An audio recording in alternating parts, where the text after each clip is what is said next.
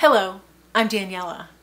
Most of you know me from here on YouTube where I film the slow stitching videos. We talk about hand sewing and different creative things.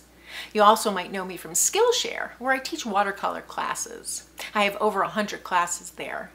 But right now I'm working on an upcoming video where you can get to know me a little bit more. It's an Ask Me Anything video.